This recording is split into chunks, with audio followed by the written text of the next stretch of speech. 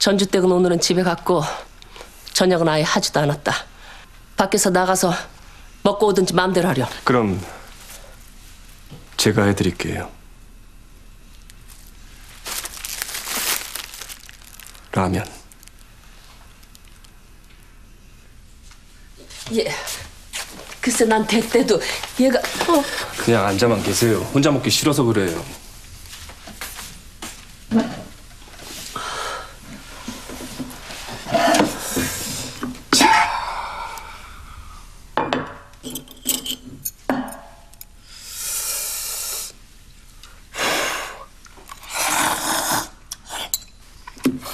음.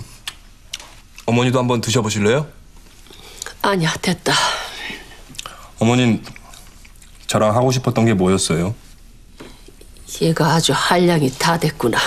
그런 쓸데없는 질문을 하는 걸 보니 저는요 어릴 때 어머니하고 같이 소풍도 가고 싶었고 운동회 날 어머니랑 손잡고 달리기도 하고 1등 하면 칭찬도 받고 싶었고. 언제적 얘기를 하는 거야.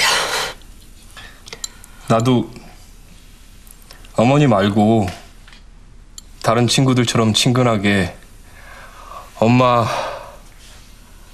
이렇게 부르고 싶었고. 아 근데 나쁘기만 했던 건 아니에요 항상 좋은 건 내가 제일 먼저 갖고 있으니까 다른 애들이 얼마나 부러워했는지 또 장경옥 여사님 아들이라고 하면은 사람들이 놀랐는데 그게 또 어린 마음에 참 으쓱했어요. 왜 이렇게 말이 많아졌노? 요즘 너 키우면서 들었던 말 다 합친 것보다도 네 목소리를 더 많이 듣는구나.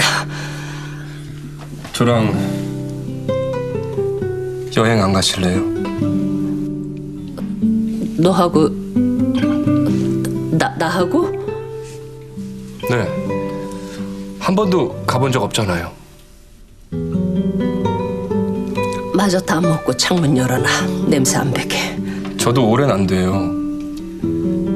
준비할게요.